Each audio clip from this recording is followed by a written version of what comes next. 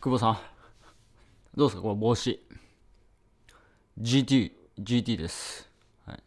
999円でした。あのですね、今日ドライブしてきまして、あのーなんかね、昨日インスタだったかな、なんかあの、投稿して、あのー髪の毛がね、まあちょっと、まあゆっくり走ればいいんですけど、ただ、僕髪の毛がこうぐちゃぐちゃになるんですよね、薄いし。で、まあそれをちょっとちょっと投稿したんですよ。そしたら、いや、あの、オープンカーには帽子っすよみたいなコメントが入って、帽子かと。で帽子買ったんですよ。めちゃくちゃいいっすね。これね、耳もね、こう、いけるんで、あの、超いいっすね、快適。すごいことになります、これ。すあの、すごいっすね、これ。すげえな。帽子ちょっとかぶっておきます。これね、マジ最高っすね。最高です。もうこれでドライブ、あの冬はこれでもう完璧ですね。そう、GT で。そう。あのね、本当に、あの良かったです、今日。今日超楽しかった。なんかね、久保さん、あの、オープン、オープンにしてね、まあ、山走ってたんですけど、空を見上げながらね、人生に、人生を振り返ってましたね。おなんだこれみたいなね。何があるか分かんないですよね、本当に。そう。いや、でもね、やっぱオープンカーで、この、空を見上げながら運転、空をこう見上げられるっていうのはね、いいっすよ。めちゃくちゃいいっすね。うん。そう。ちょっと頭、あの、髪の毛をね、ちょっと気にしてたんですけど、そう。僕あんま気にしないタイプなんですけど、髪がね、ほんとグワングワンになるんで、あのこれだったらもう完璧ですね。なんかあの僕人のことはあんま気にしないんですけどさすがになんかオープンカーでこんなんやってねなんかハゲ面だったらねなんだこれでハゲがみたいなね。ハゲがオープンカーかみたいなね。なんかかっこ悪いなと思って。そう。で今日ねあの一応あのあのあれを調べてたんですよ。ハゲの。あの A AG AGC だったかな。AGC ハゲ。ハゲの AGA だ。AGA を調べててこれちょっとね僕はやろうかなと思って。そう治療しようかなっていう。でもね月額ね2万まあその安いものもあればまあちょっと高いのもあるしまあなんかまあちょっと2万ぐらいのやつだから2万だったら20万か年間。そうまあいろんなプランあるんですけど安いのもあるし。だかこの AGA をちょっとやってみようかなと思います。そう。ちょっとね、やっぱね、さ、さ、さ、あの、本当に薄くなってきたんで、うん。なんかいろいろ、まあ僕もなんかシャンプーとかいろいろ試してみたんですけど、これなんか AGA が一番いいんじゃないかなみたいな。もうあの、うん、なんか行き着きましたね。AGA 行こうみたいな。うん。そう。うん。まあ、ちょっと AGA します。そう。でもね、この、L、いろんな LP を見ててね、思ったんですけど、あ、いろんな悩みがあるんだな、みたいなね。でも、結局この、高いんですよ。ね？その2万、まあ安いのもありますけど、でも1、2万するわけですよ。で、しかもね、この治療をやめたらどうなるのかみたいなね。治療は続けた方がいいです。え、ずっと課金すんの？か みたいな。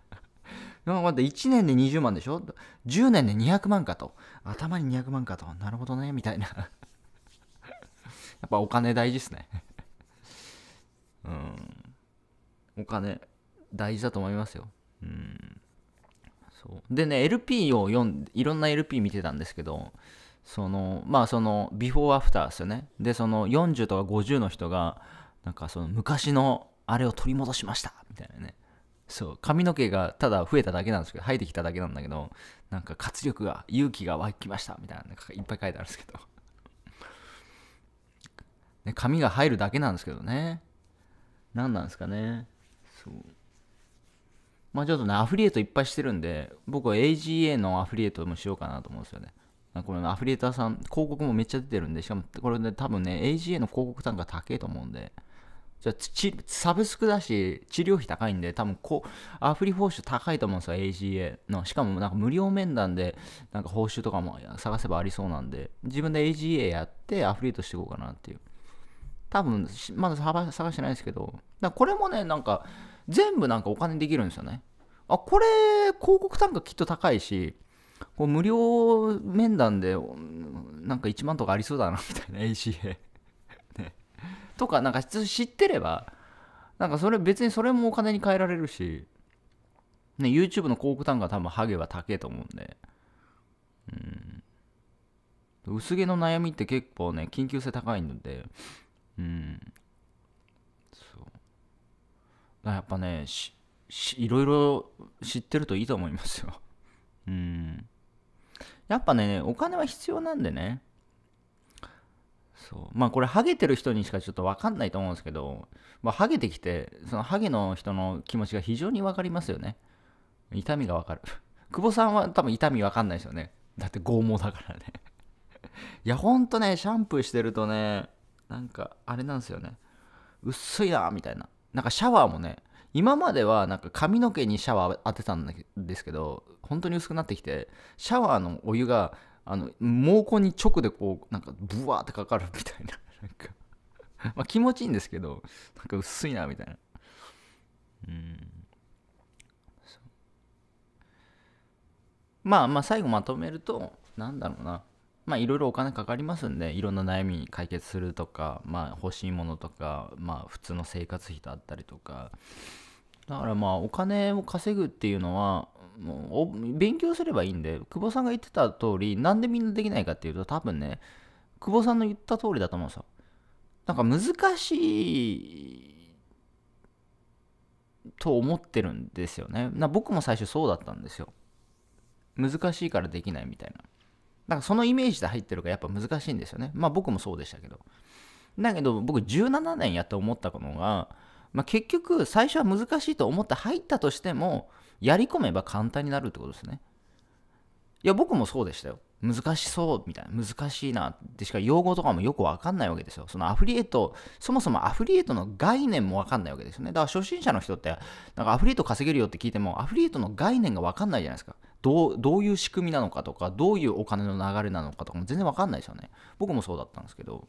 でもこれ覚えれば勉強すればいいことで。やっぱ FX もそうで、全部知らないだけじゃないですか。だからこれ勉強すれば、だ今僕そのネットビジネス17年やって思ったのがあこれ何でもちゃんとやれば、うん、まあある程度ものになるんだなっていうのが実体験で分かったんででも多くの人は一つもものにしないから実体験がないんですよねだから結局そのうん途中でやめてしまうというかなんか難しい難しいみたいな分かんない分かんないああみたいなねいや、わかんないことを分かるようになればいいだけなんですよ。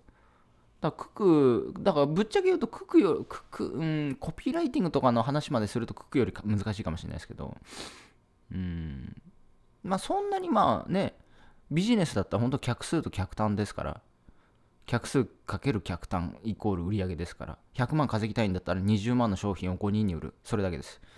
30万の商品だったら3.5人ぐらいに売るっていう。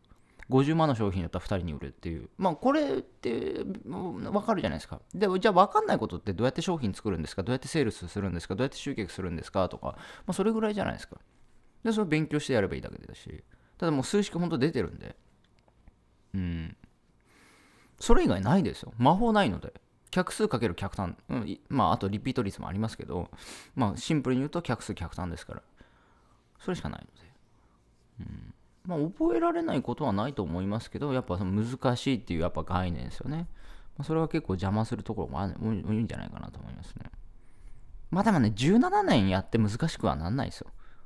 あの、はっきり言って。まあ17年やらないと思いますけど、17年やった僕が言うんですけど、17年やって難しいことはあんまないですよ、ももはや。さすがにそれはリアルの仕事でもそうで、新入社員で入った時って難しい仕事、難しいことばっかだったんですと思うんですけど、17年もやったら、そのと一番最初ね、難しいな、新入社員の時難しいな、嫌だなと思ってたのが、鼻くそでできるでしょ、さすがに17年もやってれば。っていうか、そうなれば簡単に稼げるじゃないですか。だか僕、17年やってをもう声を大にして言いますけども、簡単にしてしまえば簡単に稼げるんで、早く簡単にしてしまえばいいんじゃないかなと思いますね。久保さんも FX 今簡単じゃないですか？多分。どちらかというと簡単に利益上げられると思うんですよ。めちゃくちゃ難しい。どこれどうなるんだ？ああ、どうなるんだ？そこの移動平均性どうなんだ？これなんだ？この、ね、反発がどうなんだ？ってよくわかんないんじゃなくて、ある程度、多分きっとこうだな。あ、こうだろうな。あ、やっぱそうだな。みたいな話ですよね。覚えたからですよね。あボックスがこう来たから次のボックスこう来るなとか、ここのボックスの形来たから多分きっと反動するなとかね、反発するなとか、下がるなとかね。